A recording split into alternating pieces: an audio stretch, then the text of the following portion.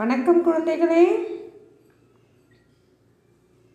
இப்போ நாம் இந்த வீடியோவில் என்எம்எம்எஸில் மேட்டில் வர்பலில் வெண்படங்கள் என்ற பகுதியை பார்க்க போகிறோம். இந்த வெண்படங்கள் என்பதை தொடர்புடைய படங்கள் என்றும் நாம் கூறலாம். இந்த பகுதியில் மூன்று சொற்கள் கொடுத்துருப்பாங்க. இந்த மூன்று சொற்களுக்கு ஏற்றவாறு பொருத்தமான படத்தை நாம் தெரிவு செய்ய வேண்டும். படங்கள் பார்த்தீங்கன்னா ஏபிசிடிஇஎஃப் ஜி e, ஏழு படத்தொகுப்போ அல்லது எட்டு படத்தொகுப்புகள் கூட சில நேரங்களில் கொடுத்துருப்பாங்க. மூன்று சொற்களுக்கு கீழே நான்கு விடைகள் வழக்கம் போல் கொடுத்துருப்பாங்க. இங்கே பாருங்கள் இந்த மாதிரி. இப்போது இந்த படத்தொகுப்புகள்லேருந்து எந்த ஒவ்வொரு வினாவிற்கும் சரியான விடை எதுன்னு நாம் தேர்ந்தெடுக்க வேண்டும். இப்போது சரியான விடை நாம் தேர்ந்தெடுக்கணும்னா இந்த பட தொகுப்புகளினுடைய அமைப்பை பற்றி நாம் நன்கு தெரிந்து கொள்ள வேண்டும். இப்போது ஒவ்வொரு படத்தொகுப்பாக நாம் விரிவாக பார்க்கலாமா? பாருங்கள் முதல் படத்தொகுப்பு. ஒரு பெரிய தொகுதிக்குள் சிறிய தொகுதி அமைந்துள்ளது. அத்தொகுதிக்குள் மற்றொரு சிறிய தொகுதி அமைந்துள்ளது. எடுத்துக்காட்டு பாருங்க. இந்தியா தமிழ்நாடு சென்னை. இந்தியா என்கின்ற பெரிய தொகுதிக்குள்ள தமிழ்நாடு இருக்கு. தமிழ்நாடு என்ற சிறிய தொகுதிக்குள்ள அதைவிட சிறிய தொகுதியாகிய சென்னை இருக்கு. இப்போ இந்த சொற்களுக்கும் இந்த படத்தொகுப்பும் பொருத்தமாக இருக்கும். புரியுதா உங்களுக்கு? அடுத்தது பாருங்க. ஒரு பெரிய தொகுதிக்குள் இரு தனித்தனி தொகுதிகள் உள்ளன. ஆனால் அவ்விரு தொகுதிகளுக்கு இடையே எவ்வித தொடர்பும் இல்லை. பாருங்க. எடுத்துக்காட்டு எழுது பொருள்கள் பேனா பென்சில்.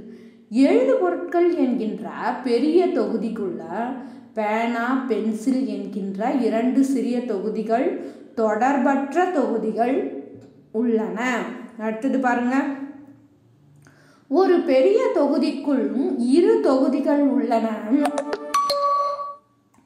ஆனால் அவ்விரு தொகுதிகளுக்கிடையே பகுதி அளவு தொடர்புள்ளது. எடுத்துக்காட்டு பாருங்க. மனிதர்கள் படித்தவர்கள் அறிவாளிகள். அப்போ மனிதர்கள் என்ற பெரிய தொகுதிக்குள்ள படித்தவர்கள் அறிவாளிகள் என்ற இரண்டு தொகுதிகள் இருக்கு. இரண்டும் தொடர்புடையது. எப்படி சொல்லுங்க? படித்தவர்களில் அறிவாளிகளும் இருக்கலாம் அறிவாளிகளில் படித்தவர்களும் இருக்கலாம். இவ்வாறு ஒன்றுக்கொன்று தொடர்புடைய வார்த்தைகள் வந்ததுன்னா இந்த மாதிரி பட அமைப்பை நாம் தேர்ந்தெடுக்கணும். அடுத்தது பாருங்க. ஒரு பெரிய தொகுதிக்குள் ஒரு சிறிய தொகுதி உள்ளது. மற்றொரு தொகுதி எவ்வித தொடர்பின்றி உள்ளது? பாருங்க. மனிதன் மூளை கணிப்பொறி. மனிதன் என்கின்ற பெரிய தொகுதிக்குள்ள மூளை என்ற சிறிய தொகுதி இருக்கும். தொடர்பற்ற கணிப்பொறி என்ற தொகுதியை தனியாக நாம் குறிப்பிடணும். அடுத்தது. இப்போ இந்த நான்குக்கும் சேர்ந்த மாதிரி ஒரு எடுத்துக்காட்டு பார்க்கலாங்களா? இங்கே பாருங்க. ஊர்வன பாம்பு பல்லி அப்போ ஊர்வன என்கின்ற பெரிய தொகுதிக்குள்ள பாம்பு பல்லி என்கின்ற இரண்டு தனி சிறிய தொகுதிகள் உள்ளன. அப்போ இதற்கு சரியான விடை பி அடுத்தது பாருங்க. எழுத்துக்கள் வார்த்தைகள் பத்தி. எழுத்துக்கள் இப்போ பாருங்க இதில் வார்த்தைகள் மாறி மாறி கூட வரலாம். பத்தி என்கின்ற பெரிய தொகுதிக்குள்ள வார்த்தைகள் என்கின்ற சிறிய தொகுதி வரும். அதற்குள்ள எழுத்துக்கள் என்கின்ற சிறிய தொகுதி வரும். அப்போ இந்த எழுத்துக்கள் வார்த்தைகள் பத்தி என்ற சொற்களுக்கு சரியான விடை ஏ. இல்லையா? அடுத்தது பாருங்க. தமிழ்நாடு சென்னை கேரளா. தமிழ்நாடு என்கின்ற பெரிய தொகுதிக்குள்ள சென்னை என்கின்ற சிறிய தொகுதி வரும். அதன் பிறகு கேரளா என்பது தொடர்பற்றது. அதனால் அதை தனியாக குறிப்பிட்டிருக்கணும். அப்போது இந்த தமிழ்நாடு சென்னை கேரளாவுக்கு சரியான விடை டி. அடுத்தது சமூக விரோதிகள் திருடர்கள் கடத்தல்காரர்கள். சமூக விரோதிகள் என்கின்ற பெரிய தொகுதிக்குள்ள திருடர்கள் கடத்தல்காரர்கள் என்கின்ற சிறிய தொகுதிகள் வரலாம். திருடர்களில் கடத்தல்காரர்களும் இருக்கலாம். கடத்தல்காரர்களில் திருடர்களும் இருக்கலாம். இரு இரண்டு தொகுதிகளும் ஒன்றுக்கொன்று தொடர்புடையவை. இன்னும் சில தொகுதிகளை பார்க்கலாமா குழந்தைகளே? இப்போ பாருங்க. மூன்று தொகுதிகள் இருக்கும். மூன்று தொகுதிகளுக்குள்ளேயும் எந்த விதமான தொடர்பும் கிடையாது. பாருங்க மா கழுதை கோழி. இவை மூன்றுமே ஒன்றுக்கொன்று தொடர்பற்றவை இல்லையா? அடுத்தது. பாருங்க நடுவில் உள்ள தொகுதியானது மற்ற இரு தொகுதிகளுடன் தொடர்பில் உள்ளது. ஆனால் அவ்விரு தொகுதிகளுக்கும் நேரடியான தொடர்பு எதுவும் இல்லை. இப்போ பாருங்க நடுவில் இருக்கிற தொகுதி இப்போ கணினி வங்கி அச்சகம். இந்த கணினி என்பது அச்சகத்தோடும் தொடர்புடையது வங்கியோடும் தொடர்புடையது. ஆனால் அச்சகத்துக்கும் வங்கிக்கும் தொடர்பில்லை. நடுவில் உள்ள தொகுதி மட்டும் இரண்டிற்கும் தொடர்புடையதாக இருக்கும். அடுத்தது பாருங்க. மூன்று தொகுதிகளுமே ஒன்றுடன் ஒன்று தொடர்பில் உள்ளது. பாருங்க மாணவர்கள் ஓவியர்கள் பாடகர்கள். மாணவர்கள் மாணவர்களில் பாடகர்களும் இருக்கலாம் ஓவியர்களும் இருக்கலாம். ஓவியர்களில் மாணவர்களும் இருக்கலாம் பாடகர்களும் இருக்கலாம். பாடகர்களில் மாணவர்களும் இருக்கலாம் ஓவியர்களும் இருக்கலாம். இவ்வாறு மூன்று தொகுதிகளும் ஒன்றோடு ஒன்று தொடர்பில் இருந்தால் இந்த படத்தை நாம் தேர்ந்தெடுக்க வேண்டும். அடுத்தது பாருங்க. இரு தொகுதிகள் ஒன்றோடு ஒன்று தொடர்பில் உள்ளன. ஆனால் மற்றொரு தொகுதி மட்டும் தனித்து உள்ளது. எடுத்துக்காட்டு பாருங்க கண்ணாடி பெண்கள் குழந்தைகள். இப்போ இந்த பெண்களும் குழந்தைகளும் ஒன்றுக்கொன்று தொடர்புடையவர்கள். கண்ணாடி என்பது தொடர்பற்றது. அப்போ இரண்டு தொடர் தொகுதிகள் தொடர்புடையதாகவும் ஒன்று தொடர்பற்றதாகவும் இருந்தால் நாம் இம்மாதிரியான படத்தை தேர்ந்தெடுக்க வேண்டும்.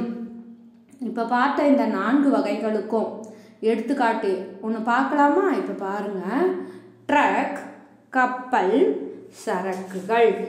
இப்போ இதில் இந்த படங்களில் பாருங்கள் சரக்குகள் என்கின்ற பொதுவான ஒரு தொகுதி.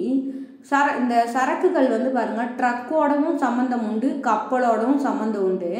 ஆனால் ட்ரக்குக்கும் கப்பலுக்கும் சம்பந்தம் இல்லை அப்போது இந்த ட்ரக் கப்பல் சரக்குகள் என்பதற்கு சரியான விடை சி இல்லைங்களா? அடுத்தது பாருங்க. டென்னிஸ் ரசிகர்கள் கிரிக்கெட் ரசிகர்கள் மாணவர்கள். இப்போ இது எந்த படம்? மூன்றுமே ஒன்றுக்கொன்று தொடர்புடையதாக இருக்கிறது. அப்போது எந்த படம் வரும்? இதுதானுங்களா? பாருங்கள் டென்னிஸ் ரசிகர்களும் கிரிக்கெட் ரசிகர்கள் மாணவர்கள் இப்போ மாணவர்களில் டென்னிஸ் ரசிகர்கள் கிரிக்கெட் ரசிகர்கள் இருக்கலாம். இல்லை கிரிக்கெட் ரசிகர்களில் மாணவர்கள் டென்னிஸ் ரசிகர்கள் இருக்கலாம். அல்லது டெ மாணவர்களில் கிரிக்கெட் ரசிகர்கள் டென்னிஸ் ரசிகர்கள் எப்படி வேணாலும் வரும். ஆக மொத்தம் மூன்றும் மூன்று வார்த்தைகளும் ஒன்றுக்கொன்று தொடர்புடையவை. அப்போது நாம் தே தேர்ந்தெடுக்க வேண்டியது டி இல்லையா? இப்போ அடுத்தது பாருங்க சிவப்பு ரோஜாக்கள் தென்னை. இப்போ சிவப்புக்குள்ள ரோஜாக்கள் வரும் இல்லையா? சிவப்பும் ரோஜாக்களும் ஒன்றுக்கொன்று தொடர்புடையது. தென்னை என்பது தொடர்பற்றது. அப்போ இதற்கு சரியான விடை என்ன வரும்? ஏ இல்லைங்களா? அடுத்தது பாருங்க பசுக்கள் நாய்கள் ஒட்டகங்கள். இவை மூன்றும் ஒன்றுக்கொன்று தொடர்பற்றவை. இல்லையா? விலங்குகள் தான் இருந்தாலும் ஒன்றுக்கொன்று தொடர்பற்றவை. அதனால் இந்த தொகுதியை நாம் தேர்ந்தெடுக்கணும். இப்போ இதற்கு சரியான விடை பி இன்னும் கொஞ்சம் படங்களை பார்க்கலாமா? இங்கே பாருங்க.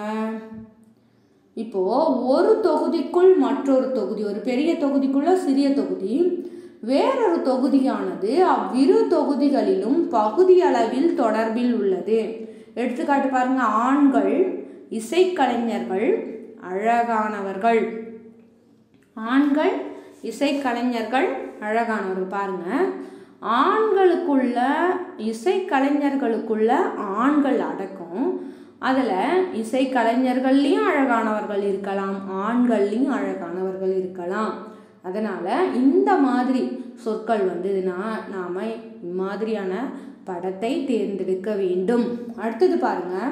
மூன்று தொகுதிகளும் ஒன்றுடன் ஒன்று தொடர்பில் உள்ளன. ஆனால் மூன்றும் எவ்விதத்திலும் ஒன்றின் ஒன்று பகுதியாக அமையவில்லை. பாருங்க. அணைக்கட்டி ஆறு நீர்வீழ்ச்சி.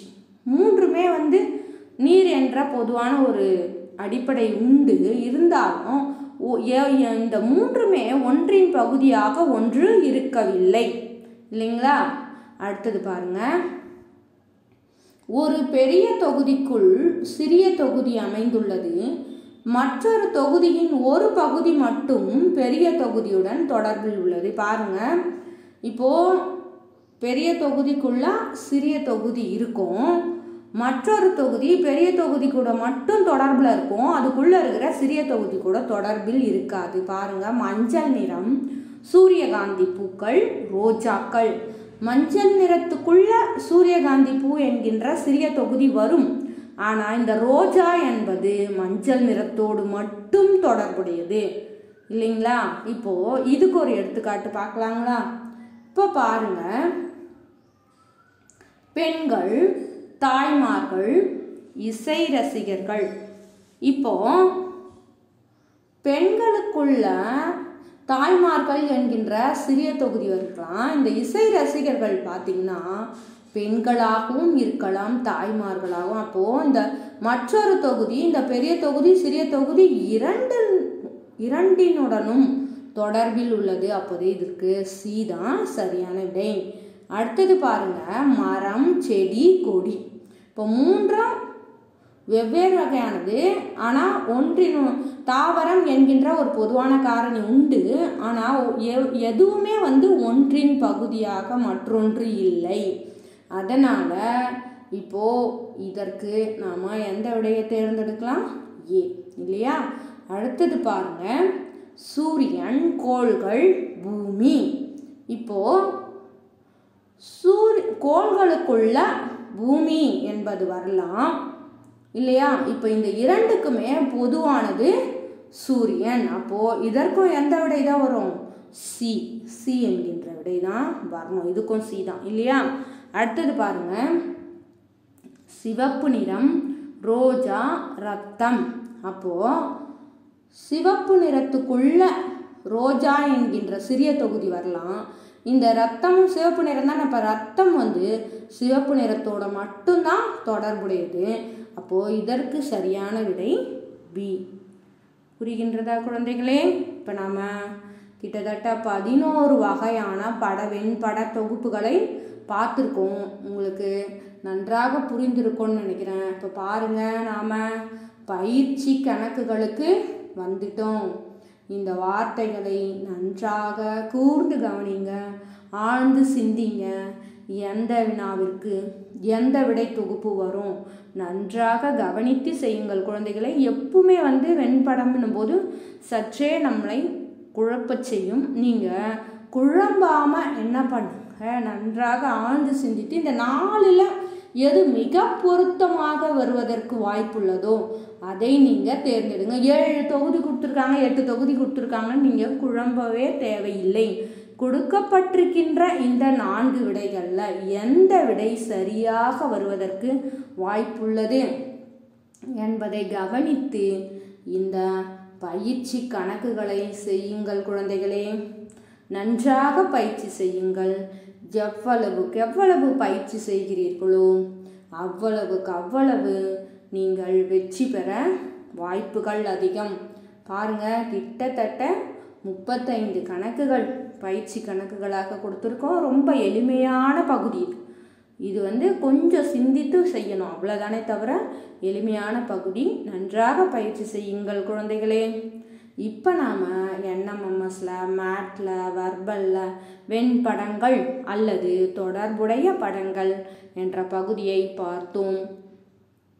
நீங்கள் அனைவரும் தேர்வில் வெற்றி பெற வாழ்த்துக்கள். நன்றி. வணக்கம் குழந்தைகளே.